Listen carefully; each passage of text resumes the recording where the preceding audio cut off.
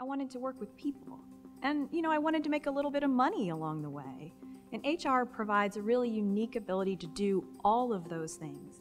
I get to work with our businesses and our business leaders every day and uh, to help our company become successful and to win in the marketplace. And I get to do that by explaining the value of people in our organization.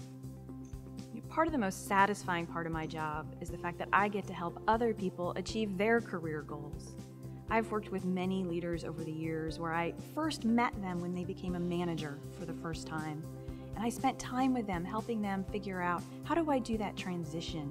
How do I develop my own leadership style? How do I become the kind of manager people want to work for? And then suddenly you look back and you realize this person that you helped many years ago is now running a, multi billion dollar business and is highly successful. And the fact that I had to part of that a chance to help that person get where they wanted to go, it really warms my heart and is probably the most satisfying part of my job.